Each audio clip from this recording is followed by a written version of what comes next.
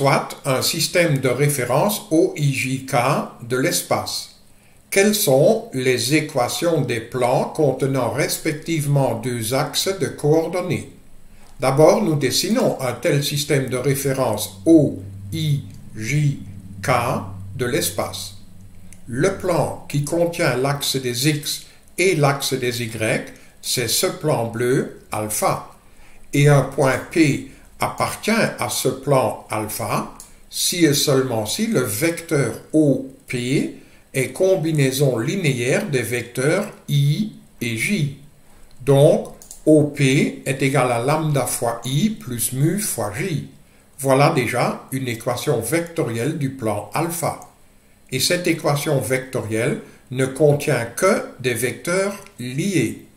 Donc, nous pouvons écrire exactement la même équation mais avec des coordonnées.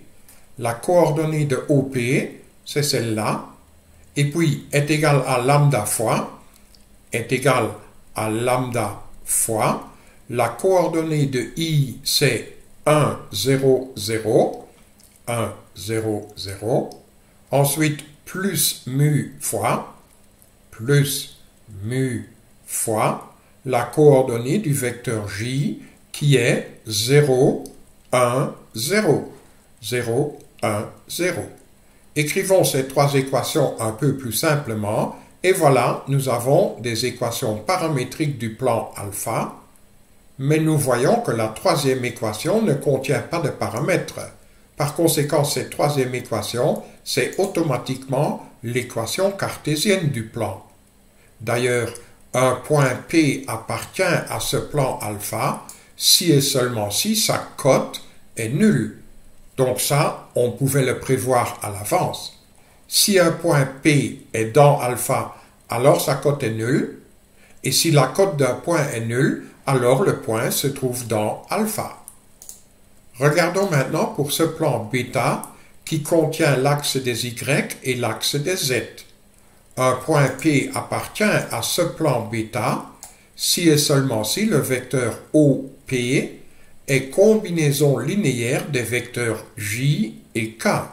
Donc, OP est égal à lambda fois J plus mu fois K. Voilà une équation vectorielle du plan bêta.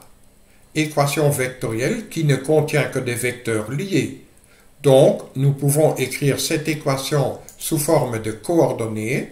La coordonnée de OP est égale à lambda fois la coordonnée du vecteur J plus mu fois la coordonnée du vecteur K. Le vecteur K a bien pour coordonnée 0, 0, 1. 0, 0, 1. Écrivons ces équations d'une façon plus simple. Voilà trois équations paramétriques de ce plan bêta, dont la première ne contient pas de paramètres, alors c'est automatiquement l'équation cartésienne. D'ailleurs, si un point est dans ce plan bêta, alors son abscisse x doit être nul. Et si un point a pour abscisse 0, alors il est forcément dans ce plan bêta. Regardons maintenant le troisième plan. Ce plan gamma contient l'axe des x et l'axe des z. Un point P appartient à ce plan gamma si et seulement si le vecteur OP est combinaison linéaire des vecteurs I et K. Donc, OP est égal à lambda fois I plus mu fois K. Voilà une équation vectorielle de ce plan gamma. Équation vectorielle qui ne contient que des vecteurs liés. Donc nous pouvons de suite écrire la même équation sous forme de coordonnées.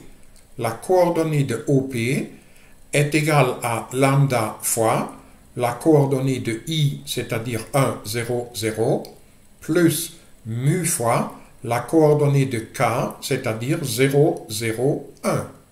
Écrivons ces équations d'une façon plus simple. Voilà trois équations paramétriques de ce plan gamma, dont la deuxième ne contient pas de paramètres. Alors forcément, cette deuxième équation, c'est l'équation cartésienne de gamma. D'ailleurs, un point P appartient à ce plan vert gamma si et seulement si son ordonnée y est égale à 0.